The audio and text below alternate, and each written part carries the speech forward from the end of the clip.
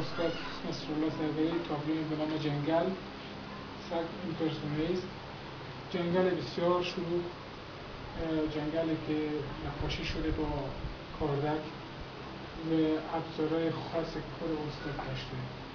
ظاهرا با چوب نقاشی شده جاهای. اینطور که پیداست کاردک هم نیست و بارز هم نیست.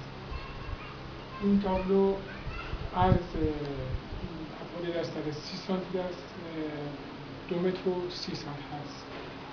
و جنگل جنگل آثار تجسمی بدخشان هست واقع در افغانستان. این تابلو فلسفه تابلو که اینجا دریاچه هست و اینجا هم درخت تشکیل شده که درخت های با رنگ های highlight های بسیار زیبا و light و highlight های زیبا خورده.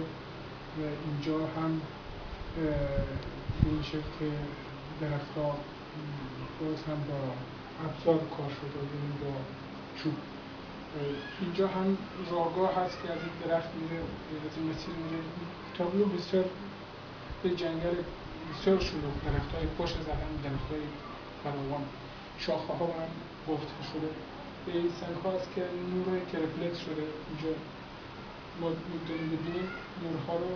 و که استفاده شده رنگ های ایمپرسونیستی و باز هم ابزار این درشت هست کلا به شکل درشت هست که اینجا هم که رنگ های زخیم رو این تابلو داده شده به قسمت یک پایین تابلو.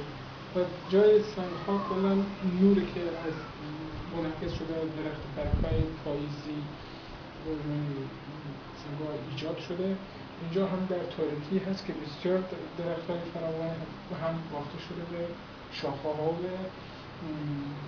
سنگ ها و هم شاخه های درخت شکست درخت شکسته که درخت شکسته به اینجا هم نقاشی رو نقاشی کرده به سطح خاص درخت افتاده.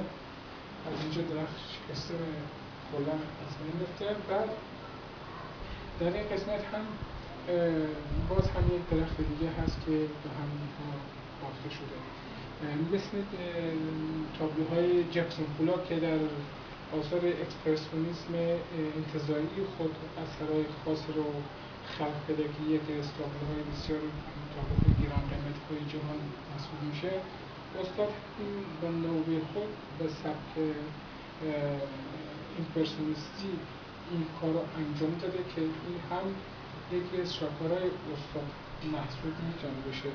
این تابلو هرچند قدمت زیاد نداره. شاید بتونم بگم تابلوهایی بوده که آخرین تابلو رو به استاد کار می‌کرده. به این شکل بعد, بعد از این تابلو هنوز هم درشتی رو این تابلو حس می‌کنه من که دست می‌زنم. تابلو بسیار تابلو نفیزی هست. یک از اصول استاد هست